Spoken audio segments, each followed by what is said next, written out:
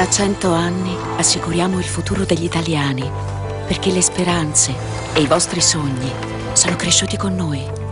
Ogni storia ne contiene tante altre. Nella nostra ce ne sono milioni.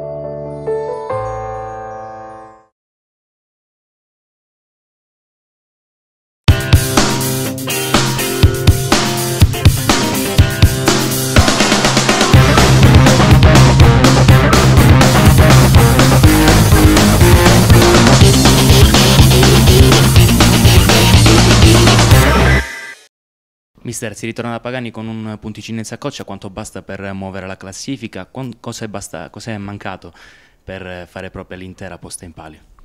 Mancata la, la, la, cattiveria sotto porta, per il resto credo che abbiano fatto tutti bene.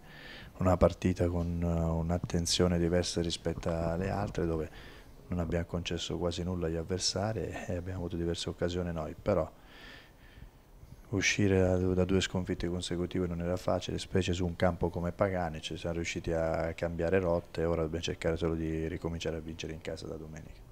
Messo in campo un 3-5-2, modulo insolito, modulo da trasferto, ora con il reintegro di eh, Simone Massini si potrà tornare al vecchio modulo, il 3-4-2-1 che ha dato identità alla sua formazione. Beh, normale, in casa giocherò sempre con le tre punte, poi può arrivare Benevento, Perugia, Avellino e chi in casa si gioca sicuramente con i tre attaccanti.